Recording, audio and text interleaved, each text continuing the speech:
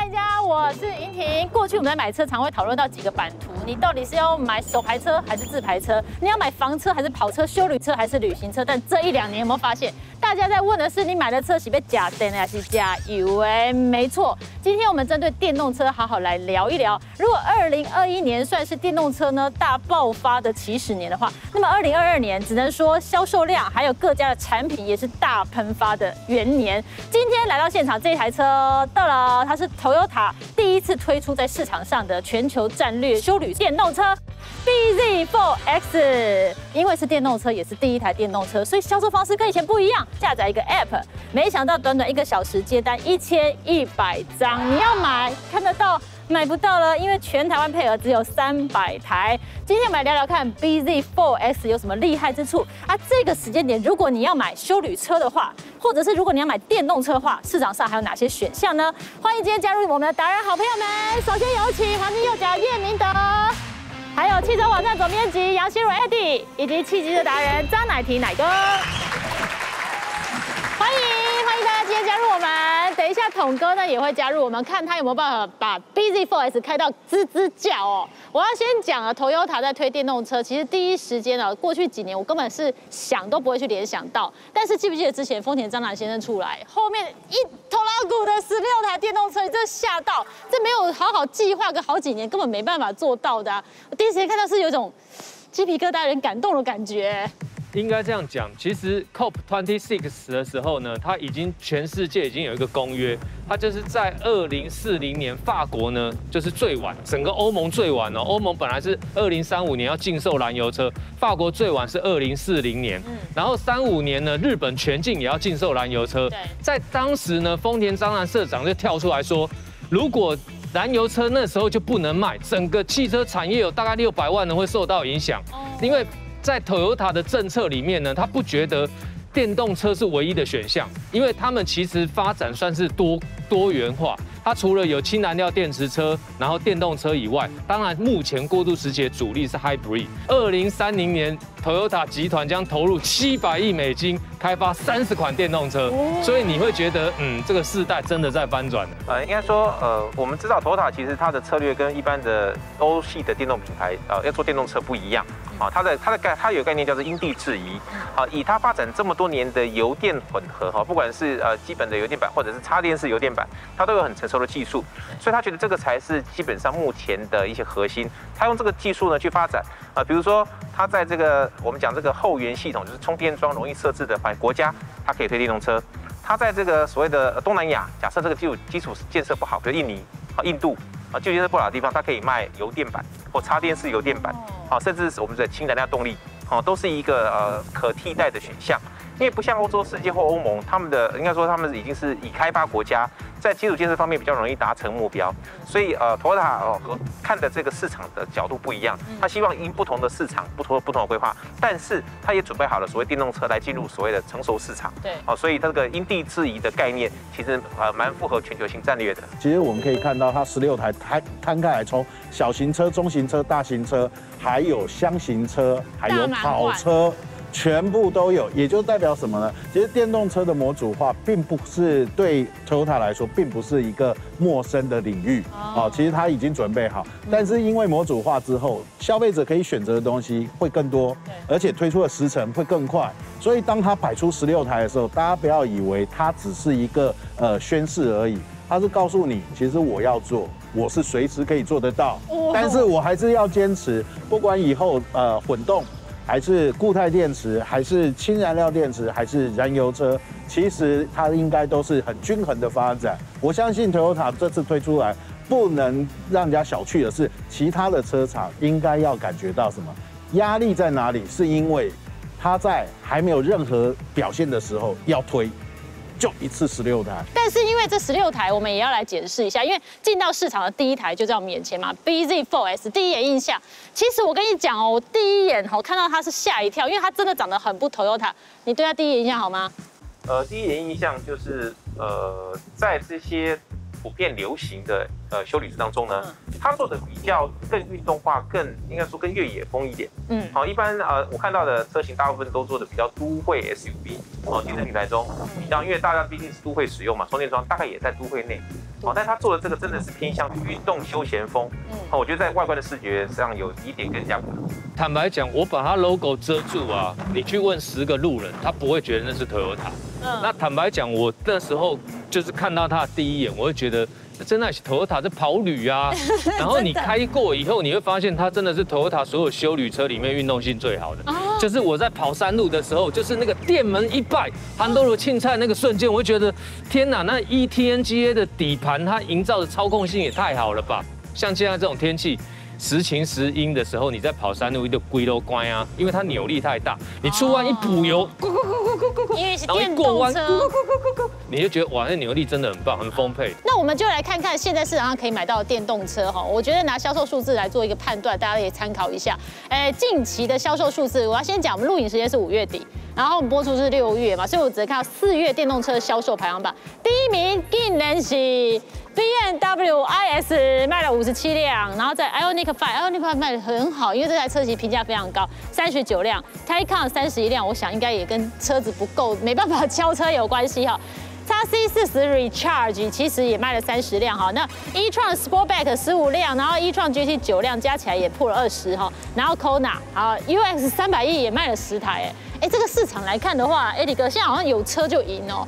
呃，目前交车是这样哈，我们照去年那个全整体的这个电动车的总量大概快七千台，好，那预估今年应该会破万台，嗯，但是关键还是在于这个电动车的这个呃到港的数量，对，好，我们都知道之前有晶片，但是根据我最近的消息呢，呃，这个晶片荒大概会在今年的第三季开始逐渐解除，好，所以各项的配备呃都会逐渐上来。到时候这个电动车的制造，我觉得也不太会是问题。嗯，好，那所以呢，将来就是谁到的车多，谁就是榜上的常胜军。这 iX 它现在你知道，iX 现在就是 B N W 整个新世代的 i 部门，iX 缺车四千多台，加 iPhone 总共加起来六千多，所以它它其实你现在看到只是凤毛麟角，因为这是全世界缺车，它没办法满足消费者。如果它一次都满足，我跟你讲，后面会让你觉得更厉害。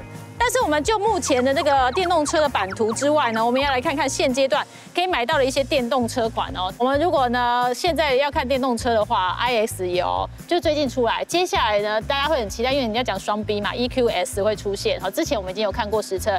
Taycan 呢，就是点点加三万公里，没有，因为已经卖的非常非常好。它又有 Cross Turismo，然后 e-tron GT 啊，啊，还有包括 e-tron 啊，还有 Model three 啊，还有 XC 四十 Recharge 一个 US 三百一。Model 3 Kiddo 啊，好像暂时看不到它了哈。因为现在就是缺车了，然后缺料，然后再加上工厂停工嘛。但是，但是我说真的，就是对我来讲，我觉得特斯拉这个品牌在电动车它算是破局啊。为什么说破局呢？其实相较于二零二零，它光是二零二一一年哦，它自己的成长比例已经九成多哎，就是已经快要百分之百成长，这是很惊人哎。那今年主要当然受到战争的冲击，零配件的供应链断裂，然后还有工厂停工，所以它目前是大幅下滑啦。可是我觉得啦，就是以新创品牌来讲，它的确很成功，而且主要是它。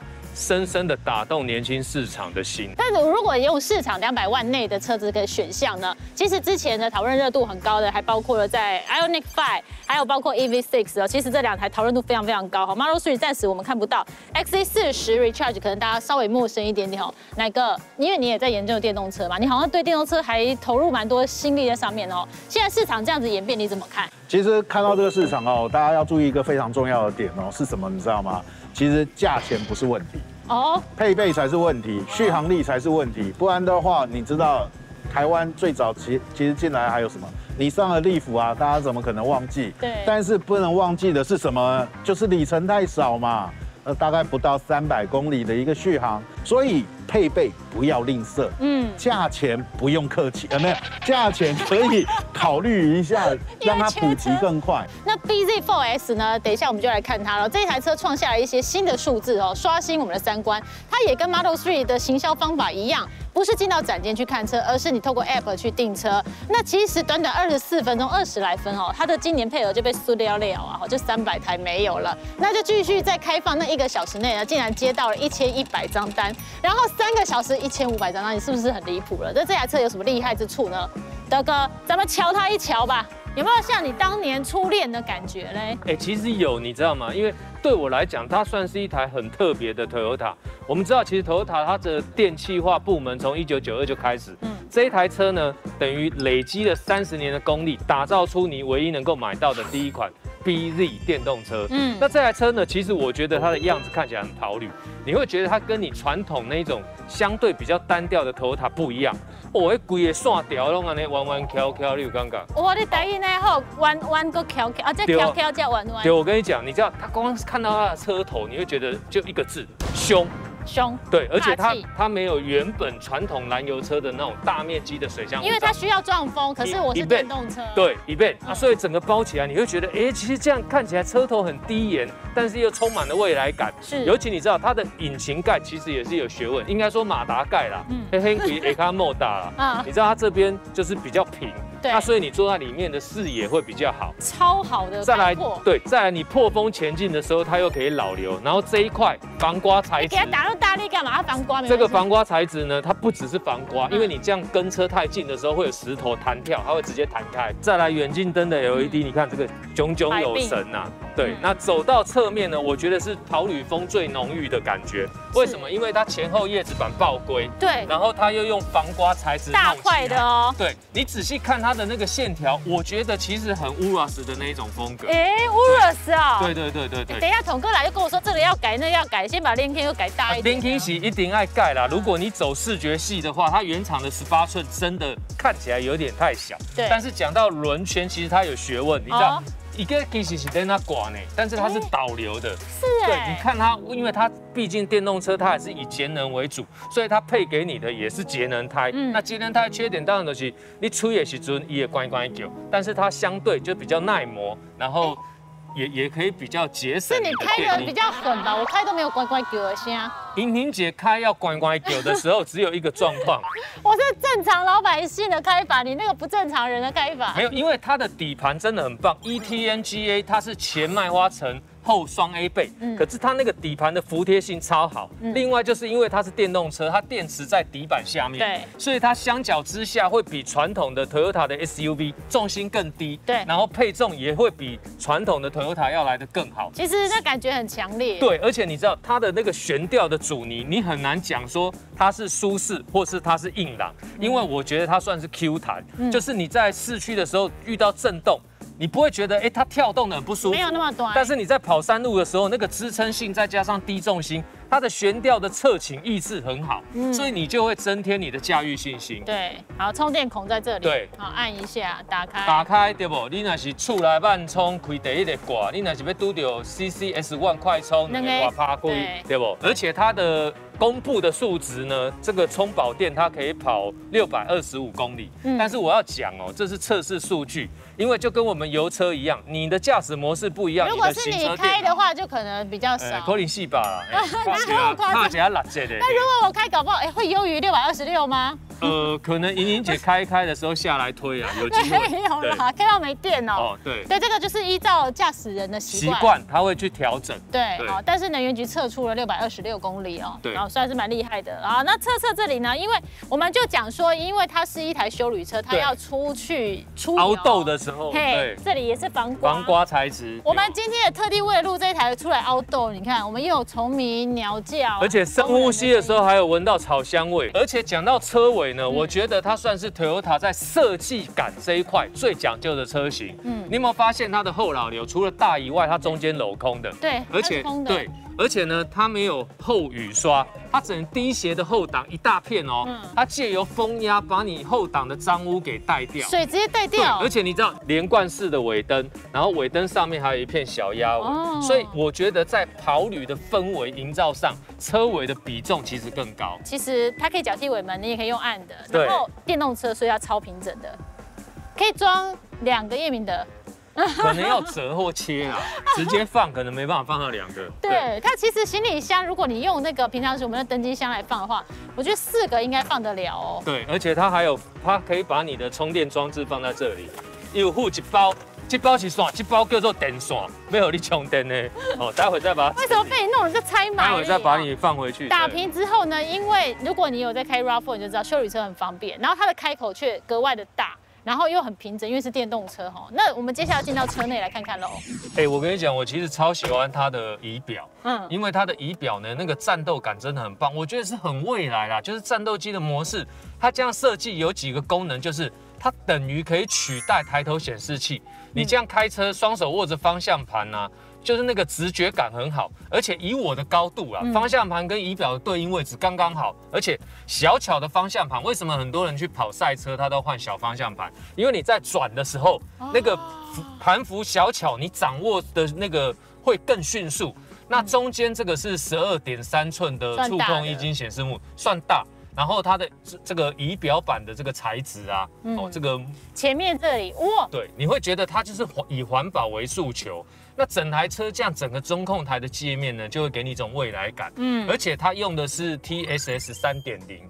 那等于该有的配备呢，超细找行，然后五，而且它把你会用到的功能全部整合在方向盘上面，所以我在开的时候，我觉得整个直觉感很好。而且你知道，我们开跑车，你会觉得说，哎，它那个中控台整个很高耸，就排挡座很高耸，它会有一个环舱的包覆感。那这一台车也一样，而且你看它中控台这边，它是一个就是 QI 充电板，无线充电，对，一个丘吉亚坑 A 加也的无线充电，它这是透明的，手机响还会亮。对，而且你看它的旋钮式的排档，就是在操作上呢，你也会觉得很棒。那你打到倒档，它还有环景的摄影，对，哦，就是整个感觉，然后一按就是 N 档，整个感觉会让你觉得是科技，是耳目一新。那除了这些，还有一个特色就是。因为电动车它没有引擎跟变速箱的牵挂，对，所以它在防火墙的部分呢，它不用像过去要预留空间，所以这一台车呢，它的轴距已经逼近了两米九，对，而且它平整式的底板，然后让座舱的底盘呢，底板呢也看起来比较对，而且它是后座，它中间不会隆起。所以你后边那边坐三个人，坐中间的人，伊嘛袂感觉客客、啊对，不会觉得好像是蔡全输了才坐中间。对，而且那当然像双前座呢，它还有电热的功能，从莹莹姐拎带行领。滑梯加令，你都给它切了，它就会电热，你就会觉得哦，这一卡那贵的人就舒适。方向盘也可以，对，方向盘也可以，就是在冬天的时候呢，其实还蛮好用的啦。起码是变啦，起码我喜欢你的手有点冰啊。起码三十几度，你不搞推电热外掉。你手有点冰，对。但是我觉得它的这个铺陈啊，是让你觉得不是那么的 Toyota 是真的。对。然后我这这个就没有手套箱了，因为你的东西要放到这。对，因为它双层嘛，而且你看它这个。这个打开后面这个扶手，它的置物空间也蛮大，就是以男生来讲，长长夹丢进去都没问题。哎，对。那另外一个很大的重点是开修理车常是要在家人啊，在长辈，所以其实安全非常重要。哪个这次 TSS 三点零就是一个很大卖点，对不对？没错，其实这一次哦，在安全的配备上面哦，我相信 BZ4X 是给足了。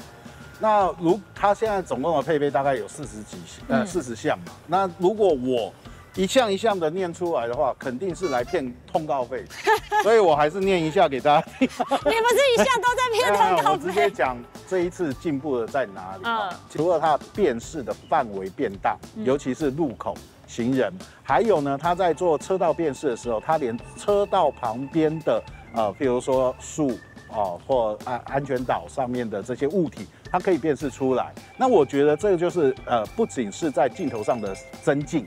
还有它运算的这个 CPU 也要同时做一个一一样同样的提升。除此之外，它的线控一定要更完美。当然。电动车比燃油车的在呃电子线传部分的话，它会更直接。所以我觉得在 BZ4X 上面啊，你会会发现它的这一个呃安全的辅助系统啊，更加的符合呃电动车的一个特性。对，所以在安全系统方面，我是给很高的一个评价。那很多人都说电动车有一个很大很大的重点要讨论，就是电池啊，电池很重，所以车子呢就会比较贴地，然后车子也很重，整个车一点九吨其实算蛮重。再来就是整个电池，大家也怕说电池会不会容易坏掉。接下来我们来看看。呃，BZ4S 的电池哦，好奇宝宝李衣服又把它拆开来，听说螺丝超多，手都转到酸了。其实 BZ4S 所引进到台湾的电池容量都是七十一点四度的规格哦，不论是前驱或者四驱版本都是一样的。但是呢，在前驱版本呢，他们主要是交由 Panasonic 松下所代工制作。那至于四驱双马达的形式呢，它主要是给宁德时代呢来出品制作的设计。而这样的设计结构大部分都是采用这个带状电池的设计，所以对于一些电池的规划空间来说呢，当然是相当的好。而且哦，也因为在中间底盘有配置电池的关系，所以呢，周边结构甚至内部结构呢，当然也势必要进行优化强化。所以呢，对电池本身哦。它里面呢是采用电池元件跟冷却液机构呢是分开的设计，所以避免了当你在遭受一些外力撞击的时候呢，电池受到挤压，甚至造成冷却液了跟电池结合，造成可能后续可能爆炸起火等等的可能性哦。在对于电池控温方面呢，BZ4S 的功夫呢也下得相当深，因为先前像是我们顶过 US 三百一的时候，你会发现它的冷却机构是采用冷媒，就俗称冷气去吹凉它的设计哦。但是这样子的控温机构呢，其实不算是太出色，所以 BZ4S 这部新世代的电动车，它只是导入了水冷形式哦。它在每一个电池模组下面都有一个温控机构，它可以去侦测每一个电池模组的电压、温度、工作状态等等的方式呢，来进行每一颗电池的温度进行调整。而且也因为有水冷机构关系，所以呢，即便你今天是在天寒地冻的状态哦，它一样可以利用水升温比较快的优势呢，让你的电池的工作温度呢尽量赶快到正常工作状态。那视线再往左边看过去哦，你会发现，在侧裙两端的地方呢，它有一个像是蜂巢状的这一些铝合金的结构哦，它是当你在车辆遭受侧面撞击时候呢，它是一个缓冲机构，它可以让力量呢可以因此分散。不要那么直接的撞击力道，就直接冲击到电池本身。而对于电池本身外面的框架呢，它当然有进行详细的规划保护哦，所以可以让你在行驶的时候，即便遭受到一些不测身撞击的时候呢，都可以确保到车内乘客的安全。奶哥，你怎么看这一次它的这个电池的铺陈？对啊，身为有打造过电动车的我，对这颗电池啊，我可以说，刚刚一开始我说这个 BZ4S 有一些黑科技，其实就藏在这个电池里面了。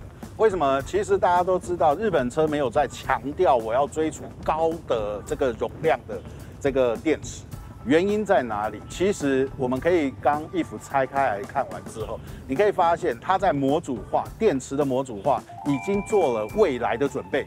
怎么看呢？你注意看它的冷热的这个交换管，也就是说要帮这个电池加热控温控的部分，它是做在电池的这一个 pack 之外。那原因在哪里呢？代表说这个电池的内部可以用什么？我可以用未来的固态电池，甚至氢燃料电池。我在不改变我的温控的呃这个模组之下，我只要改电池内部就行。当初丰田章男有说，我在开发所有的电动车都要以十年的使用。我还要保持九十趴以上的健康度，嗯，那这样子说起来的话，也就是说，其实它没有在一味的追求这个电池容量，我要多大？其实以它的这个底盘来说，你可以看得出来，它并没有把它塞好塞满。原因在哪里呢？因为我相信接下来的超级电池或者新一代的电池再出来的时候，它就不需要为了新的电池再去把这个模组化做什么二次的更变。所以也就是说，ETNGA 文说的这个模组化呢，应用是包括到电池的这个 pack，甚至它的三电系统。Toyota 应该不能只说 BZ 系列而已，应该说以整个 Toyota 集团来说的话，我觉得它最可怕的就是哪里？就是它的电池电控科技。那等下休息一下回来，我们要来看看其他品牌电池又怎么来做调教嘞？还有统哥怎么让这台车开到 G G G？马上回来。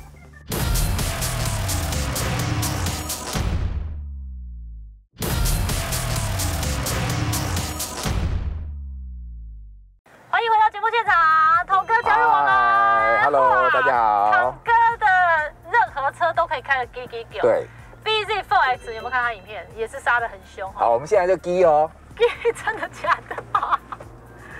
其实没有哎，其实你知道吗？它操控不错，没有那么的侧倾，对呀、那么大一个弯哎。没错，而且我们刚才一个急回转，我还踩油门踩下去，其实它的重心低，ETNGA 真的有差别哦，就是低重心的电池，所以即使看起来是一台 SUV，对，但是其实开起来很 SUV 对。对。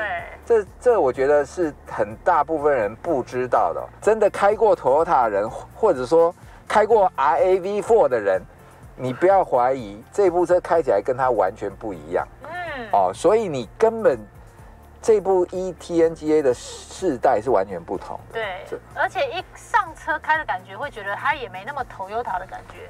这对它调教上面我觉得很厉害的地方。没错没错，Toyota 就是用它最简单的方法，嗯，给你刚好够，让你有有感觉有感受，但是呢，你不要花太多钱。哦，TSS 三点零好像也可，虽然你们用不到，但是其实很多消费者没有没有没有需要。谁说用不到？我三点零我一试就知道，嗯，它就有一点点一半的五 AU 的感觉，哦，你知道吗？它它有五 AU 的感觉，就是平常我们只有前面这一个车道，对，它看得清楚，但它现在换上一个一百度的这个角度的荧幕，所以它可以看到旁边车道，所以我开，哎，真的有车切进来。嗯那电动车的 ACC 更好，嗯。因为它加速不需要 kick down，不用换挡，嗯。所以什么东西开起来都非常非常顺畅，减速也顺畅，加速也顺畅，所以 ACC 跟电动车根本就是神，就是神配，你知道吗？对，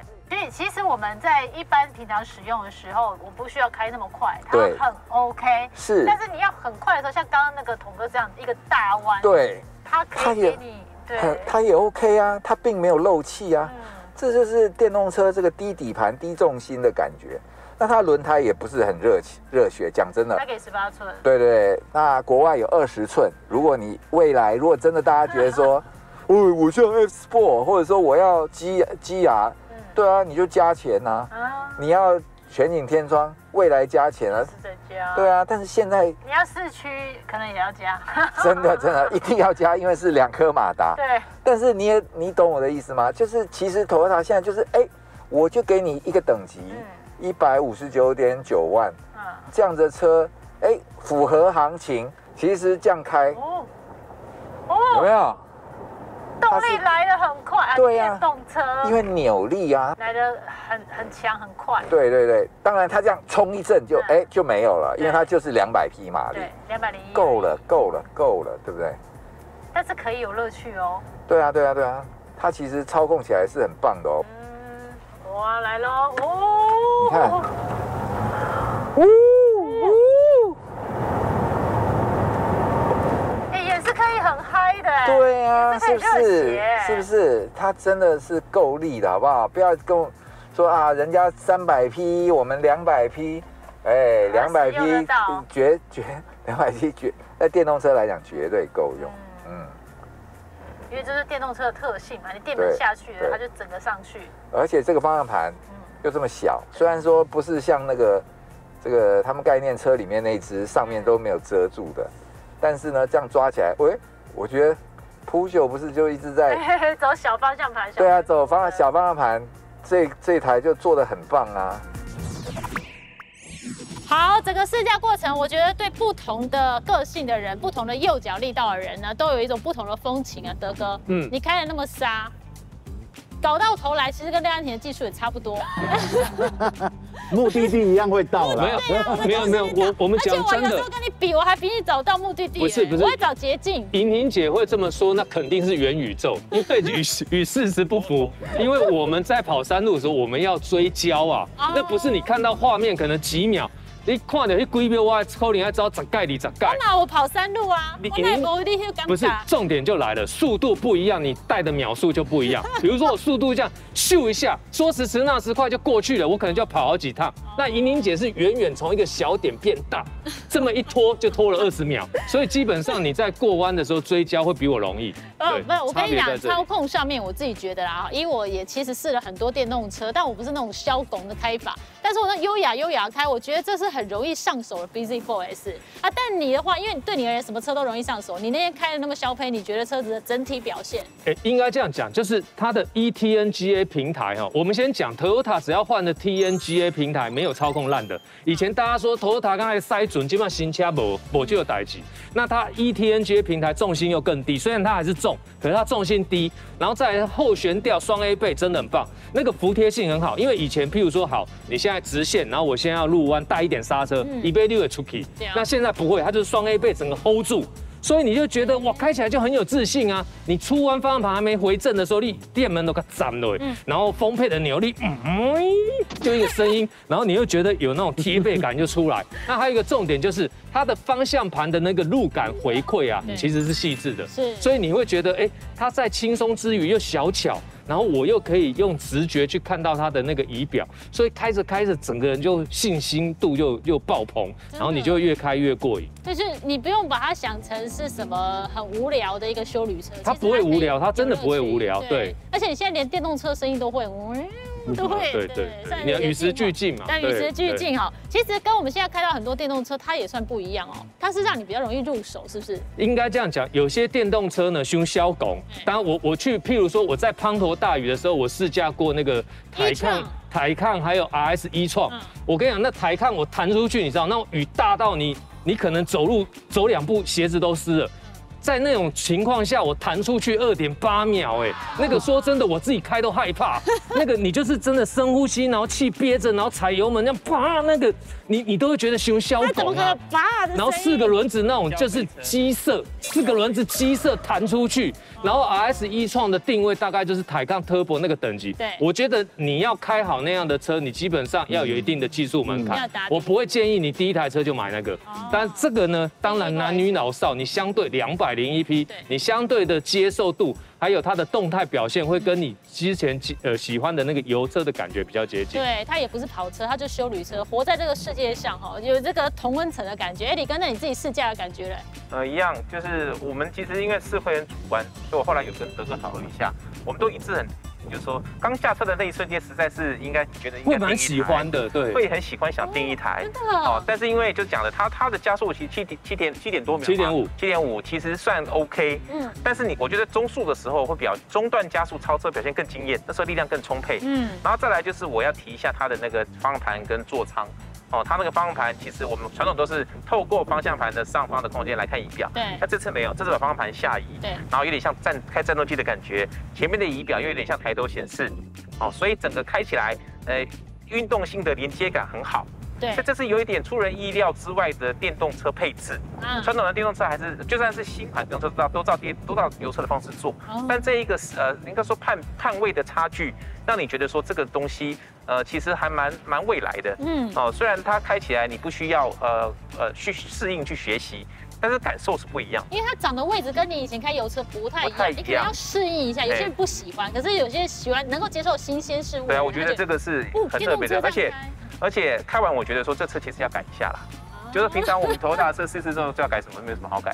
但我觉得它可以改的更有风格一点啊，比如说现在现在 GR 系列很很流行，呃，你要把它自己变成属于自己的 G R G R B Z，哎，GRB，这是一个创意的做法哦，所以我个人觉得这个车如果买来，其实做一些，因为。你改不了电控，对。哦，所以你做些外观的改装，让它更个人风格化，我觉得是一个很有趣的车款。对，哦，我自己试驾感觉也是新鲜感蛮浓厚的，就像我们就开到这个路边，看到 Toyota 的维修厂，然后就有一个技师他可能出来休息一下，就看到我就突然间这样子，然后开始就到里面叫一堆人出来，因为我在停红灯，然后一堆人看好像是冲着我来的吧，就是在拍车子，因为车子真的大家第一时间看就，哎，这起 Toyota，哎，这起 Toyota，哎呦，他们自己都没看到。来哥那里开的时候呢，除了注目度很高以外，对，其实我觉得啊，在这边啊，我就是站在银婷姐的这一方。别乱叫姐。好，为什么呢？其实刚刚 AD 跟那个德哥哦，他是用那个专业媒体的强力的把他极限射出。嗯。但是我觉得我刚刚很很认同银婷姐说的一句。别再叫姐。优雅。哦，其实这台车跟我们以前开的所有电动车哦，最大的不同，它很优雅。对。它动力没有给你那种。急速的强劲或什么，大家都会说啊，电动车都很厉害，这个比是比不上的。但是不要忘记，如果你在日常生活中的话，几次你可以电门到底。好，对不对？其实这台车可以电门到底，对，你是还可以。没有，我们问一下叶明德嘛，你其他电动车有给他电门到底？我每一台都到底啊，只是说你在心里的那一种深层也是这样，一样啊，一样啊，不然你怎么跑车就一定要？我还有测零到一百的加速了，对不对？对啊，而且你在山路那种下着滂沱大雨的时候，对，电门到底。对你，你，你真的在出弯补油，应该我这样讲好了。我们传统油车为什么容易适应？比如说现在直线你要准备入弯，你这样吹吹吹。呜呜，然后踩刹车，然后降档，蹦蹦，你可以用档位，可以用刹车去调节它的速度，然后进去，然后你那时候的扭力输出呢，已经就被受限，因为被排排变速箱给受限。那在出弯的时候，那个节奏是你已经很熟悉的。电动车不是啊，它就是零跟一嘛。你这样，然后踩刹车，好，动能回冲，然后出弯补油，那瞬间那个瞬间呢，它是扭力整个炸出来。嗯。所以以这一台两百零一匹，你会很容易承受。对。你那个动辄都快一百公斤米的扭力，你怎么开呀？就从市场来看，我刚刚跟 Eddie 哥说，要跟 Model Three 比。可以啦，因为都是吃电，但问题是两个真的是不太一样，痛调也不一样。好，现在如果真的要比的话，可能跟 EV 六比哦，跟 Ioniq。呃，大家因为说特斯拉是其实是主要市场，那特斯拉的车主们也对这个这个车相当的关切，大家会讨论。那讨论区也热闹哈，在这个上市以后，那当然呃，特斯拉车主所凭借的就是有很好的娱乐性，有很好的快充。有很好的充电设施，哦，这些都是特斯拉既有的这个优势。那因为这个价格却跨到 Model 三，Model Y 还没上，所以呃，你在选房车或选 SUV 的电动车就会变成可讨论，啊，所以这是我觉得是这个讨论点的由来。但是以呃 SUV 的身份来看，它其实对到的是就是 EV6，嗯，哦，那 EV6 价钱从一百四十几到到快两百。哦，它是有有呃不同车格的车型的选择。嗯那这个呃 b d f o 只有一个车型。对。哦，那但这两个 PK 呢？呃，不得不说，EV6 用了很多高呃，应该说欧系的高科技。嗯。充呃急速充电，有保时捷之有保时捷相呃同等级的快充的的效率，然后再来就是设计也得奖。对。啊，它都是做一个呃在话题前端的车款。嗯。但是 Toyota 拥有全省一百六十一家。的保修厂全部都接受了训练，合格训练可以来呃维护跟照顾这样子的电动车，这又是在地的优势。对，哦，所以呃两相拉扯起来，看你的呃选择性跟你注重的点在哪里。对，我们会说呃比较注重设计风格，EV6 其实是比较强烈。对，他的心就会往那边。哎，那如果你是注重我只是 A 到 B 点用，我只是个用车，我希望方便一点，我可能本来也开 Toyota，嗯，那我就继续买 Toyota。啊，我的联络的方式跟我常习惯去的地方都不会变，好，然后再来是长期持有，哎，照这个点看，之前有讨论过，就是时间会证明，对，好，现在特斯拉出来也大概五六年了，慢慢可以看到电池在五六年后它的这个呃电池的容量衰退，好，那这都是可观察、可讨论。那呃呃也刚好，大概在二零二二年有这么多电动车进来，我们才发现，这电动车也是完全不同。本来说电动车出来大家都要失业了，是什么车？电动。哎，里程就是这样，然后照规格跑，然后电跑了就就很过瘾，然后就没有什么特别。不对，每个车厂还是做自己设定的方向，对，做自己设定的样式，嗯，做自己设定的配备，对，哦，所以非常的应该说也都是呃百花齐放，对，各种的方式都可以选择。对，嗯，好，那其实今天看了那么多电动车，等下休息一下看看，你这世界市场上也有一些热门的油车，马上回来。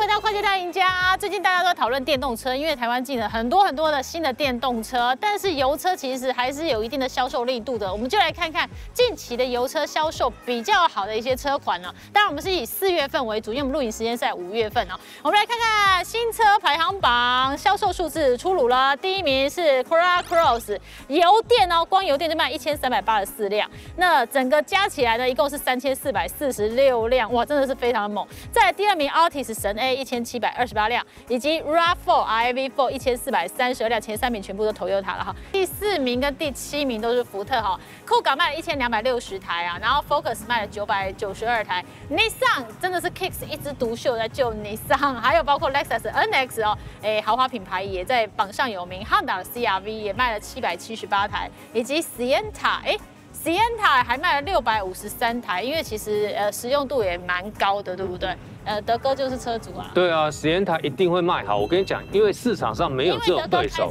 不是不也不是我买这一台，但是我跟你讲，这一台车为什么我觉得一定会卖得好？你市面上你买得到商车、商旅车，就是你要在百万元价位，可是你你要七倍咋办？你会不会解一台修旅车哦？因为它等于是算比较迷你 MPV 啊，它又有实用性，侧滑门，然后呢，你说它很阳春嘛，其实也还好，该有的也都有。那后面会动，对，而且它的底盘 底板是低的哦，就是你坐上去那个架姿是特别的。可是对工作车来讲，比如说我们摄影车。它整个尾门打开，摄影可以整个坐进去，你不用这样子。你买修旅车，你可能要这样高估。那你在那边你可以很舒适的。然后再来就是它车身尺码小巧，有一台车就穿越台湾大街小巷，你会觉得是溜利啊。然后保养超便宜，真的保养超便宜。你知道我们买那台车这样四年了，它都没有坏过什么。我们唯一花最多钱是什么？雷纳。我们现在轮胎是配 R 一零零四，然后诶，今麦叫换三个位，我看头前天个被危起，你刚刚同事塞我，很凶，很凶，很凶，没有同事就跑山路跟拍什么，他打的都我我被的我点点都人家消配啊，所以变轮胎相对对我们那台车来讲是比较高的消耗品。对，因为它侧滑门也是方便的。对，就是很多的面向，其他车好像没办法一口气全部有。所以你几乎也挑不太到什么大的缺点，然后反正持有对啊啊，你如果买商车或是商旅车，你就会觉得多了几分廉价感。但是它你可以用修旅车或甚至迷你 MPV 来定义，所以你就会觉得哎，它那个高级的氛围又好一点点。对，因为它长得可爱啦，没有那么的商用的感觉哈。那这么多车子里面，你跟你比较看好哪一台？呃，我看好还是持续的这个尼桑的 Kicks，尼桑 Kicks 哦，就是它属于所谓小型 SUV 的范围。嗯，在市场上，因为这个范围很竞争。对。再来就是呃，我觉得我都有一个理论啊，是原厂其实不太想人家延续的，就是很多都是原品牌车主换购。嗯。哦，像榜上的 CRV，我觉得也是，就是你前面几代卖非常多的量，所以在这个情况之下呢，就是车主前车主都会。把旧车卖掉再换车，但是有时候挑新车太复杂。我如果在原厂原品牌中有不错的车，我直接就换购就好。对，而且我都在一样熟悉的呃业务、熟悉的保养厂，呃，这个这个都不需要适应，原来就这样联络。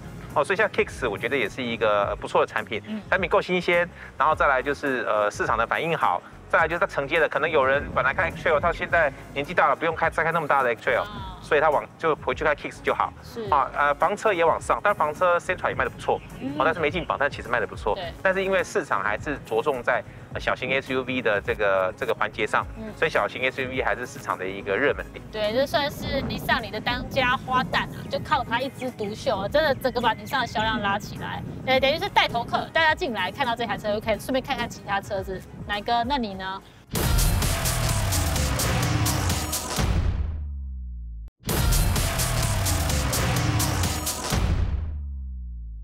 我觉得哦，呃，大家看到刚刚那个表格，有没有发现一个很奇怪的地方？如果你把卡罗拉 Cross 的油电车拉出来，单独拉出来哦，哎，一千三百八十四辆，哎，整个排行榜它排第二，它排第二，哎，所以三千四扣掉一千三百八十四，对不对？它是排第二，CC 第二名也是 CC，对，他都考虑没然后啊。哎，我的意思是什么呢？就是说哈，油电车开始被人家这个接受，对。而且这个数量很大，那所以现在唯一，呃，在这个呃排行榜之内，好像 CC 是一枝独秀，对不对？其实我本来很看好一个，这叫做 HRV 啊啊，可是它可惜他没有进油电 啊，因为现在还没有正式发表，我们录影的时候还没正式的说它的价钱啊，所以呢，整个榜单上唯一一个汉达，我们都说双铁，好。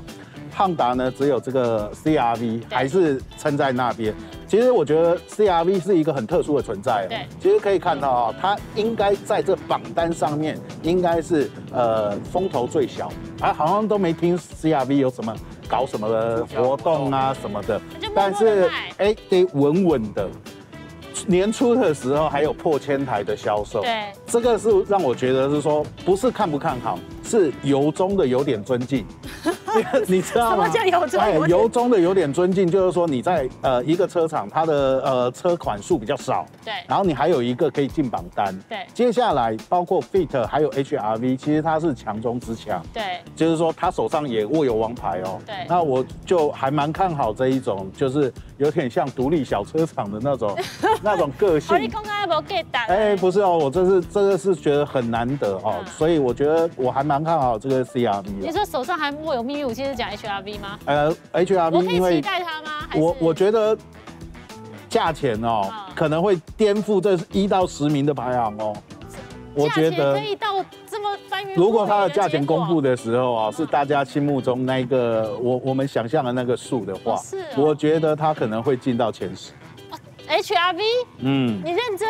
认真。你问叶明德 HRV，你觉得有可能吗？其实那个集聚呢，反而受欢迎。大家可能会觉得说，啊，那 gay 小差不多是不是被 CRV 开后？但是我跟你讲，很多女生她不是在乎钱哦，她是在乎那个 size。因为我起来，你开越大的车，我心理负担越高。那 HRV 呢，其实你看，你开基本上那会让你家觉得有一种型男劲女的感觉，小修女，然后外形又时尚它等于可以跟流行画上等号。所以 Carrera Cross 它会卖这么好，除了很多营业车加分以外，也有不少人觉得这个车真的很实用。不用像 SUV 那么大，啊对不对？对，因为我跟 AD 哥上次在记者会看，就很多人留言都在骂嘛，就是因为一来是售价，二来是它改的幅度比较大，再来就是没看到有电，所以大家的期待值是有的，才会被骂啊，对不对？嗨，各位跨界小赢家们，看完影片别忘了帮我们按个喜欢，留言写下你想看到的车款，并且把我们影片分享给所有你喜欢车子的朋友。记得按下订阅，开启小铃铛，这样就可以随时接收到我们的最新资讯哦。更多车款的开箱评比试驾，通通都在这里，让我们一起变成微微跨界大赢家吧！